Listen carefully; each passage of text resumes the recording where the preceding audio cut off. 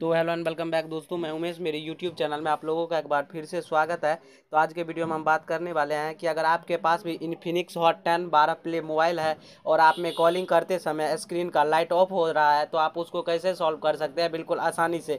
तो अगर आप हमारे चैनल पर पहली बार विज़िट करें तो चैनल को ज़रूर सब्सक्राइब कर दें और साथ में बेलाइकन को प्रेस कर ले ताकि इसी तरह की वीडियो नोटिफिकेशन आपको मिलते रहे। तो अभी ना किसी देरी चलते अपने टॉपिक की ओर तो सबसे पहले आपको सेटिंग का ऑप्शन दिया गया है तो इस पर क्लिक करना है। उसके बाद यहाँ पे आपको माई फ़ोन पे क्लिक करना है। उसके बाद यहाँ पे नीचे आने के बाद यहाँ पे आपको बिल्ड नंबर का ऑप्शन दिखाई दे रहा है तो इस पर आपको सात बार क्लिक करना है।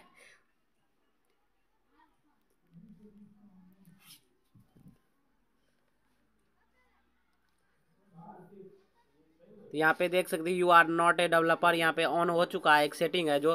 तो सबसे आपको लास्ट आ जाना है यहाँ पे सिस्टम के पे, उसके बाद यहाँ पे एक ऑप्शन आपको दिखाई देगा डेवलपर ऑप्शन तो इस पर आपको क्लिक करना है। उसके बाद यहाँ पे आपको एक ऑप्शन दिखाई देगा।